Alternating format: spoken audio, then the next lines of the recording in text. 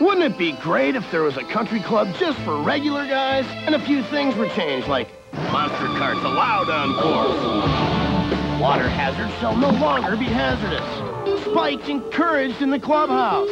Only really great premium beer served. Like cold filtered Keystone and Keystone Light. Bottle beer taste in a can. Hey, I'm in the sand again. All right. Nice shot. Thanks. Wouldn't that be great?